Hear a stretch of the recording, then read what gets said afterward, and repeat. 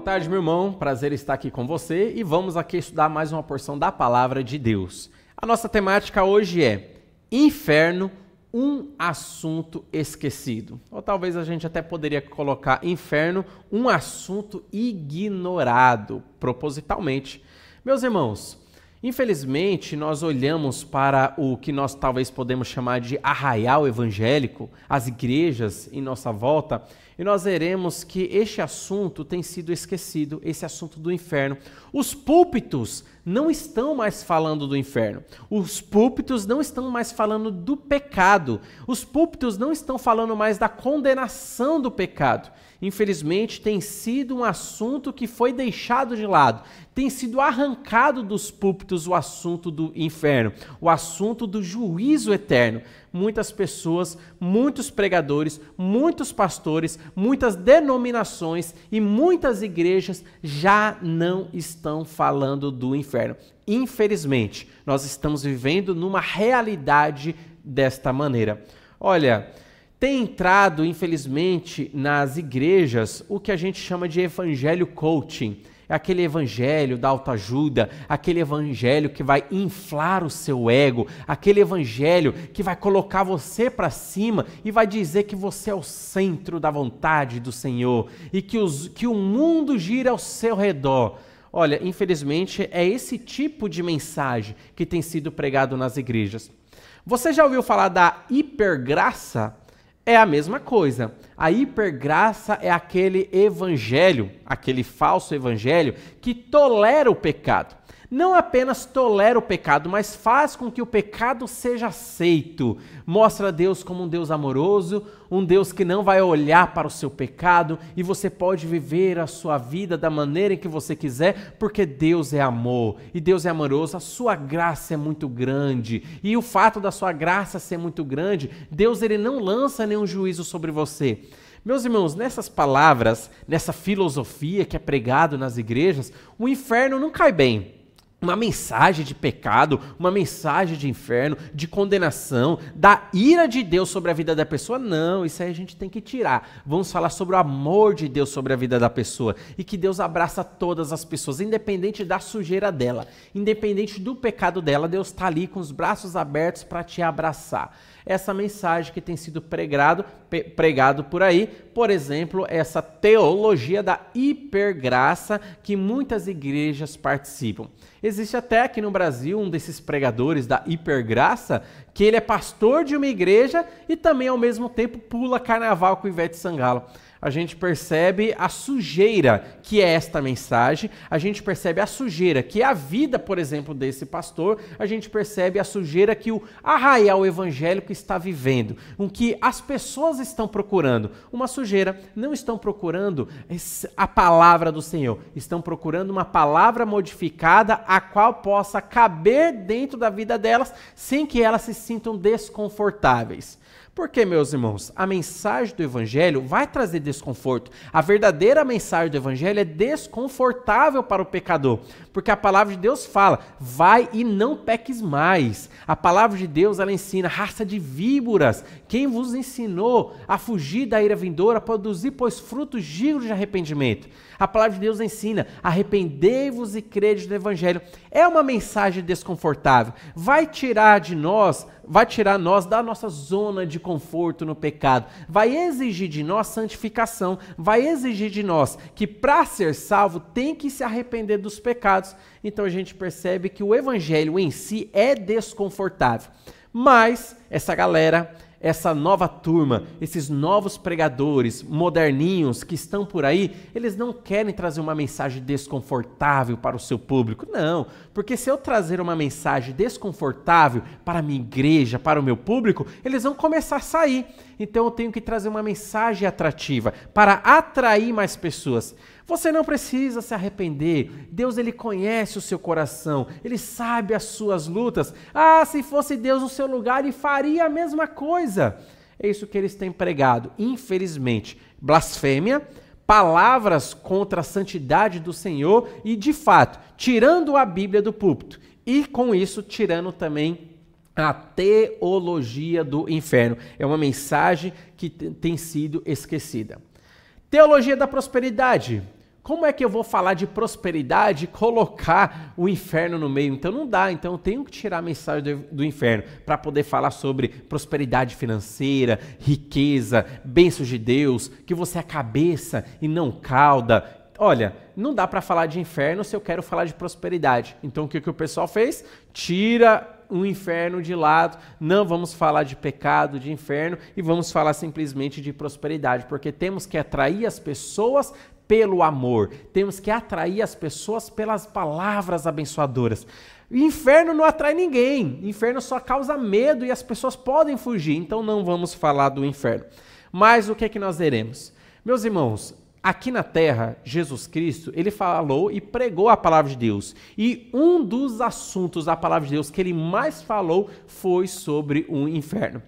Foi Jesus Cristo quem disse: falando do inferno, que o fogo nunca se apaga e o verme nunca morre. Ele repetiu isso várias vezes, falando do terror do inferno.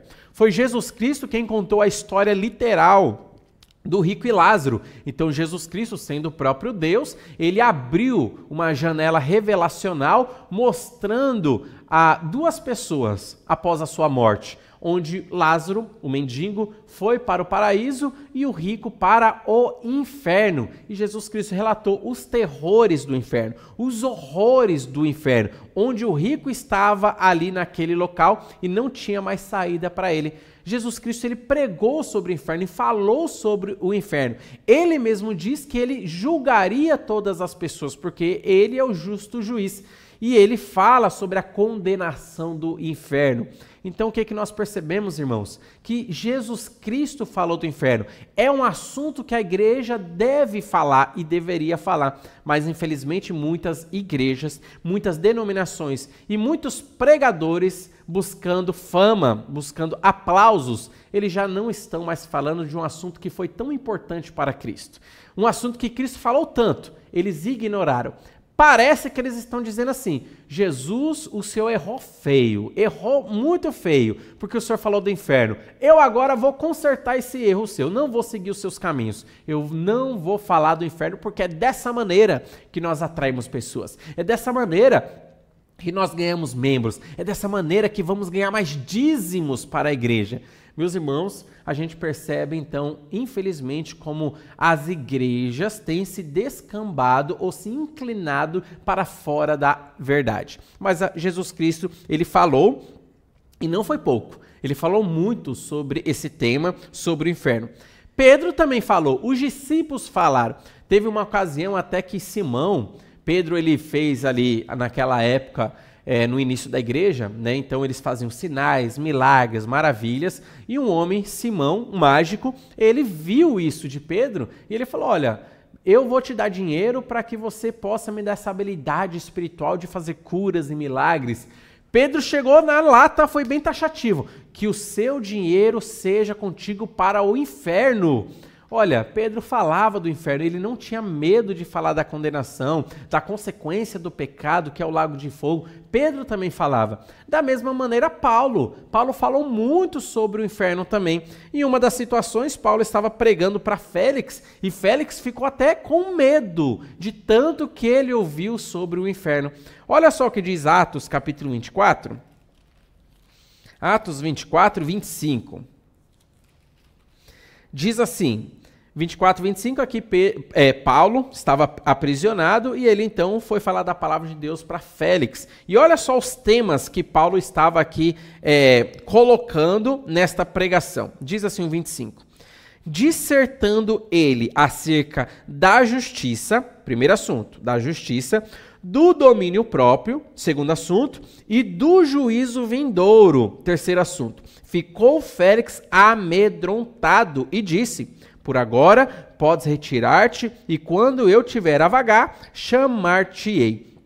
Meus irmãos, Paulo aqui, ele pregou a mensagem do evangelho para Félix e ele trouxe algumas temáticas. O primeiro assunto que Paulo ele falou foi da justiça de Deus. Ou seja, ele falou sobre a lei de Deus, que Deus é justo, que Deus é santo, que a sua lei tem um padrão tão alto e nós não conseguimos obedecer esse padrão. Que Deus é tão santo e tão santo que nós não podemos alcançar a sua santidade. Ele falou sobre a justiça de Deus, que Deus é justo. O segundo tema que ele fala para Félix é sobre o domínio próprio, ou seja, que nós não temos a capacidade de obedecer essa justiça, de obedecer a lei de Deus, os dez mandamentos do Senhor. O que que Paulo estava mostrando? Que a lei moral do Senhor estava lá em cima e nós, com o nosso domínio próprio, a nossa incapacidade, estamos aqui. Nós não conseguimos nos aproximar de Deus. Nós não conseguimos ser salvos pela nossa própria capacidade e nossa habilidade. Então, o que que Paulo ele começa a falar também? O terceiro assunto, o juízo vindouro. Falou de Jesus Cristo, falou que Jesus Cristo vai julgar todas as pessoas, falou sobre o inferno, falou sobre o lago de fogo, sobre a eternidade sem Cristo. Que, que aconteceu com Félix? Ficou amedrontado. Evidentemente, Paulo falou do caminho de salvação que é Cristo, porque ao falar do juízo, nós automaticamente também falamos sobre a salvação. As pessoas serão julgadas porque quiseram viver em seus pecados, não buscaram a Deus, ainda que tinham conhecimento do Senhor, não se renderam ao senhorio de Jesus Cristo. Evidentemente, Paulo falou aqui sobre o único caminho de salvação que é Jesus Cristo. Mas Félix saiu amedrontado e ele não buscou ouvir da mensagem de Deus, ele não buscou a solução, ele não buscou a salvação, ele simplesmente se afastou amedrontado. Meus irmãos, Paulo, ele não errou. Paulo não estava errado ao pregar essa mensagem. Ele acertou e acertou na lata. Ele estava fazendo aqui a vontade de Deus. Ele estava pregando e ele falava do inferno também. Nas suas cartas, nas cartas de Pedro, nós vemos ali a menção do juízo vindouro. Nós vemos a menção do inferno, essa realidade. Os apóstolos falavam disso, mas infelizmente nós vivemos em períodos onde Pregadores modernos não querem assustar as pessoas. Pregadores modernos estão falando: não, se eu falar do inferno, isso aí é teologia do medo e a gente não pode atrair as pessoas pelo medo. Meus irmãos, inferno não é teologia do medo, inferno é uma realidade e a gente precisa falar do inferno. Como é que eu vou chegar para uma pessoa e falar que só Jesus salva?